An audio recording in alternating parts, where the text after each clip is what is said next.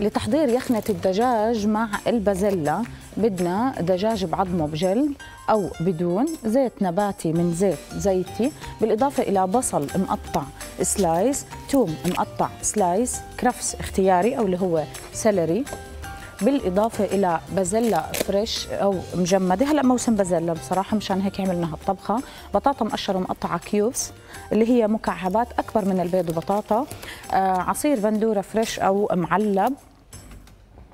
القليل من الماء المغلي. ورق غار ملح وفلفل الكسيح بهار دجاج أو بهار ال season الأمريكي. بابريكا خشنة وهيل مطحون. بالإضافة إلى بودرة مرق الدجاج وللتقديم رح نفرم شوية آه، بقدونس fresh وجنبها أكيد وصفة اللي هي الرز وصفة الرز بتاكليها حاف. أرز مفلفل بالشعرية والمستكة بدنا زيت نباتي من زيت زيتي 2 كوب أرز بسمتي منقوع مغسول مصفى نص كوب من شعرية المحمصة ومستكة حب. ملح من الكسيح كركم وماء مغلي.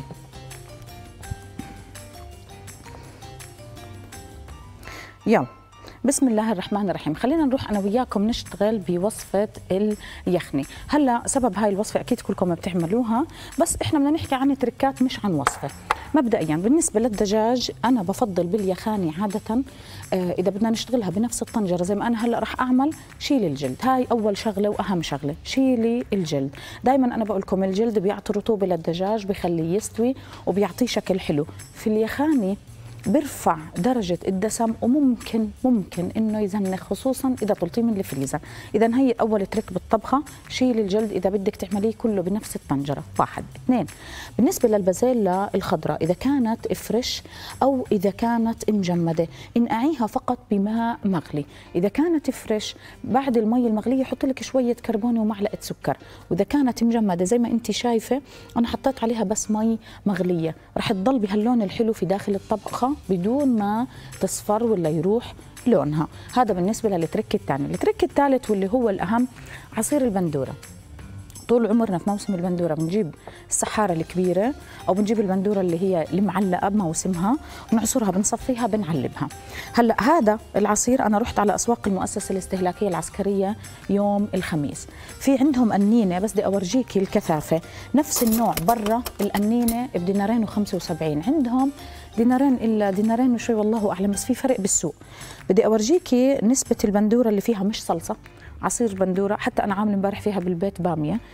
آه، ما حدا بيقدر يفرق إنه هاي صلصة البندورة. هلأ بس أروح على المؤسسة بصور لكم إياها على الستوري القنينه بتجنن للطبخ وزيها زي الطبيعية. أنا عن نفسي وعلى المستوى الشخصي والمهني ما بحب اعصر بندورة وأحطها على الطبخ. ليش؟ مع إنه طول عمرهم أهالينا والستات هيك بيعملوا. إحنا هيك تعلمنا أصلا يعني. شو السبب؟ السبب إنه البندورة الفريش بتعمل حموضة على الجهاز الهضمي. في راس معدتك بتحسي في حموضة فاللي عنده أوجاع في معدته قرحة قولون آه، جهاز هضمي الأمعاء شوي رح يحس بحرقة. في حال جبتي عصير بندورة فريش حطي على لتر البندورة أو ثلاث لأربع كاسات آه، العصير بتحطي عليها قديش؟ معلقة كبيرة سكر السكر بسحب حموضة اليخني. فما رح تحسي بشيء المعلبة غير المعلبة لما بحطوها في القنينة بيعلبوها بشو؟ مواد حافظة. فهاي المادة الحافظة بيكون من إشي آه، فيها نوع من أنواع سكر الجلوكوز فهذا بيحفظها فما بتعمل حموضة. فأنا على الطبخ بحبها ما بحب الفريش. الفريش أنا بعرف ست طول عمرها بفترة حملها سكرنا الزيت مرة ثانية آه طول عمرها فترة حملها عصير بندورة. آه بسم الله ما شاء الله ما شاء الله يعني. بديش أحكي عليها لتنحسد ف ما شاء الله شو بيعمل عصير البندورة للست للشاب. كثير شباب بتروح على الجيم بتشرب يعني بجوز تستغربي كمان في بالمؤسسة الاستهلاكية العسكرية عصير بندورة باكيتات قديش إحنا بنحكي عن قيمة غذائية وفائدة جدا عالية. حطينا زيت زيتي دوار الشمس موجود بأسواق المؤسسة الاستهلاكية العسكرية وزيت زيتي لون الزيت ما له دخل. انت بهمك ما يعطي رغوه وما يعطي ريحة في أنواع زيوت ما اشتغلنا فيها بس حطيها على النار. تعطي ريحة مش معقولة. زيت زيتي هيك إن شاء الله إنه ما بندلكم إلا على الصح. حطينا زيت زيتي كمان بصل slice أنا بحب slice بحب يكون مبين. هلا انت بتحبي تفرميه cubes. ناعم هذا شيء بيرجع لك انت حرة أكيد. آه بس إحنا جايين نحكي عن تركات في موسمها اللي هي للبندورة والبازيلا هلا مليان بالسوق ومليان حتى في المؤسسة. نعمل سوتيه خفيف للبصل. بدنا أرقام الاتصال والتواصل معنا بأسفل الشاشة. أهلا وسهلا بالطيبين دائما. كالعادة تكه ملح من الكسيح تخلي البصل يذوب بسرعة بدون ما ياخذ لون. بدبل وبنزل سوائل سريعة. اسمحوا لي أرحب دائما بأهل الدار آه، ضيوفنا وأصدقائنا وزملائنا من شركائنا بمطبخ التلفزيون الأردني زيت زيتي. آه، موجود بالأسواق سعره كثير مناسب للمستهلك وجودته جدا عالية. تونه الصياد. على بالي بكرة أعمل لكم شغله براسي بدي هيك أدرسها براسي ونعمل لكم طريقة برزنتيشن حلوة للتونه لحتى تشوفوا إيش التونة بنطلع بنقدر نطلع فيها بأفكار كثير حلوة بالمطبخ. بالإضافة إلى طبعا الصديق العزيز آه، الكسيح. إحنا تعودنا عليهم وهم تعودوا علينا أكيد. آه، كل التحية الطيبة لمنتجات الكسيح الفذة يعني range كتير كبير ومتميزين دائما والأهم جودة وسعر. يعني هذا مش دائما متوفر إنه وعند غيرنا أكيد بس جودة وسعر دائما موجود عند الكسيح. حطينا البصل. حطينا توم slice أنا بحب البصل والثوم يكونوا مبينين. عشان اللي ما بده إياه يزيحه. تحبي تعملي كله مهروس ناعم. بصير يعني بزبط. اللي آه، أحبابها أو أهلها أو ابنها أو زوجها بتضايق من الثوم والبصل فيك تحطي الباودر. تمام الكلام؟ دائما بنحط الدجاج وبعدين بننزل عليه البهار. بس أنا دائما بقول لك حمصي البهار عشان تاخذي نكهة صح. ورق غار أو ورق لورا أو ورقه سيدنا موسى بنسميها. كمان رح نحط عليها البهارات البهار يا ستي العزيزة هذا البهار اللي سألتوني عنه على ال stories والمسجات الخاصة ال orange. هذا اسمه بهار ال season. ما رح أحطه هلأ رح أخليه على جنب بس أحط الدجاج رح أورجيكي. هذا بهار دجاج عادي أي واحد. تمام؟ رح أحط كمان شوية اللي هي آه بودرة مرق دجاج. وهي بابريكا خشنة. بدي أورجيكي شو بيعمل الفرق.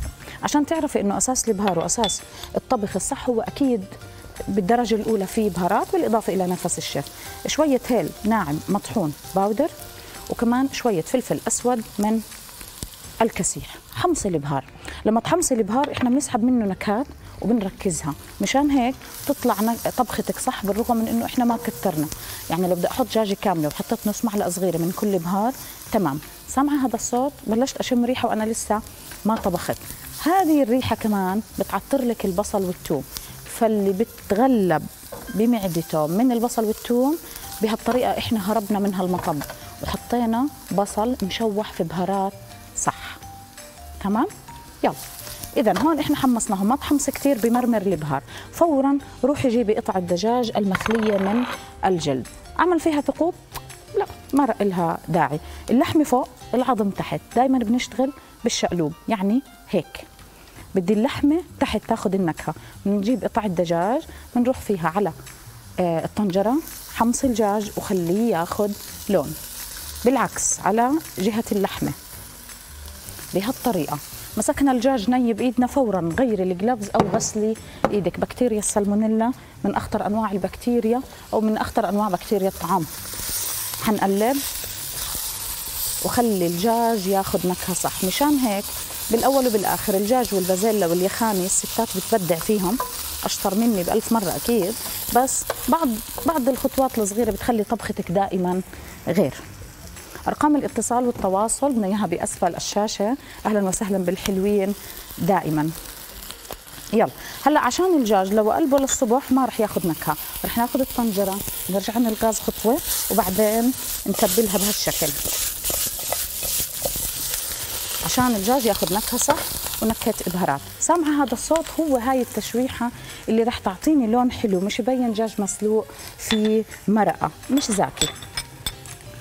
بعدين بالنسبة للبطاطا البطاطا فيها نشا والبطاطا بدها طعمة. أنا ما حطيت لهلأ ملح كتير لسه عم بستنى.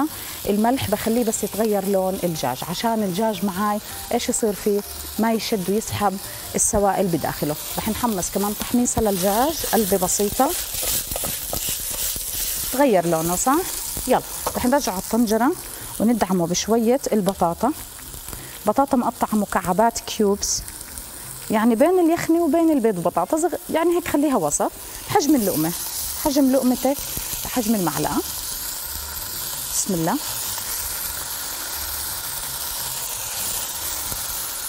كله بنفس الطنجرة مشان هيك قلت لك لا تحطي الجلدة. كثير أطيب. بشتيها وهي نية. ليش؟ لأنه اللون حلو. فدايما الزاوية البصرية بعين المشاهد بتخطف اللون الحلو مباشرة. البازيلا رح تصير بيضة. تعالوا نشوفها بالطبخة. أنا وياكم ما بيقولوا المي بتكذب الغطاس. خلينا نشوف. طلعي. هاي المستوية وهي البطاطا منهنها شوفي لون البازيلا. السكر بيحفظ المادة الخضراء في البازيلا. شوفي اللون. أنا والله ما حطيت ولا نقطة معجون طماطم نهائيا. نهائيا ما حطيت رب بندورة كيف طبختي طلعت هيك؟ من عصير البندورة ال fresh. أنا بجيبه معلب سبق وحكيت لك السبب. تمام؟ هلأ هون أنا عندي تشوحت حطيت البازيلا من أول الطريق بدي تشد وتاخذ نكهة أزكى إشي. ما عم بحط معالق عشان ما نخرب الدجاج والبطاطا. شوفي قديش كيف طلعي لونه طلعي لونه ما احلاه هذا هو ال season للصواني للفخارة للدجاج اللي بالأناني شيء بجنن. هلا جيبي مي وحطيه. آه ترك سريع خفيف لطيف. روحي على الفرن شغلي على 100 آه بلاش 180 250 300 أعلى درجة حرارة. وشغلي المروحة وحطيها بصينية بصينية فلات تكون وحطيها بالرف الأوسط بدون مروحة. وشوفي ساعة بتستوي بالفرن وبتتسبك وبتاكليها تغميس من الصينية. الصواني اللي بتفوت على الفرن اللي إلها حيف عالي. شايفة؟ شوفي اللون. لسه ما حطيت آه، عصير البندورة. هاي قنينة أقول لكم امبارح عملت فيها بامية. قديش هي زاكية. فالمؤسسة العسكرية غير عن إنها أسواق متوفرة للجميع. هلأ آه، طبعا هم دائما متميزين ولكن دائما الإنسان في تطور. هذا أحلى إشي فيهم. شو بده السوق الأردني بيجيبوا اسعار دائما منافسة ومع في ضريبة للجميع. فبقول لك التسوق للجميع. يعني أي حدا بيقدر يصف سيارته وبيروح على المؤسسة الاستهلاكية العسكرية بكافة الفروع كل سوق أحلى من الثاني ودائما بتطور. وصراحة أهم شيء الملأة يعني أنا طالعة من بيتي أتمون ل... للبيت. بستاهل حدا يستقبلني بابتسامة حلوة يشجعني على الشراء والى آخره بالتسوق. فهذا الإشي كثير مهم. موضوع الرز. شايفه هاي طبختنا جاهزة. خليها على الهدى على الغاز ساعة ونص بالفرن ساعة ساعة إلا خمس دقائق إلا عشرة وادعي لنا. موضوع الرز. الرز يا ستي العزيزة جبنا رز بسمتي حبة طويلة مثلا. رز البسمتي الحبة طويلة يعني خلينا نقول ربع ساعة مش أكثر ربع ساعة عشر دقائق ما افاتر شايفة هذا الرز؟ تمام؟ شوفي كيف حبته. هلا إذا أنت شريتي نوع من أنواع الرز البسمتي دائما اختاريه معتق المعتق هو أغلى شوي. وبعدين طريقة التعامل فيه بالتخزين تعطيكي طعم كثير طيبة. حطيت المي الفاترة غسلته وصفيته وأموره تمام. المستكة الحجار حطي لك أربعة خمسة. حكينا كثير بتعطي ريحة للرز ما بتعطي طعم. بالنسبة للشعرية آه، بنحمصها تحت الشواية بدون زيت. بدون سمنة بدون ولا إشي وبعدين نخلطهم على بعض وبنمشي فيهم مباشرة. شايفة؟ فأنت هيك بتحمصيها. لما تحمصيها في نفس الطنجرة عشان تحطيها مع الرز ممكن في بعض الأحيان تاخذ لون غامق. خلينا نشوف كيف الرزات اللي إحنا جهزناهم. كل حبة وحبتها. أول إشي المادة الدهنية أهم إشي لحتى الرز ما يعجن ما يلزق وكمان ما يتكسر. فرح نحط تقريبا معلقتين كبار من زيت نباتي زيت زيتي ورح نجيب عليه الرز. البسمتي الحبة الطويلة. دليل إني مش ناقعته كثير يطلع الصحن. هذا النشا هذا خير الرز. ما بصير نخلص منه. بروح طعم الرز بصراحة. خلينا نحمصه.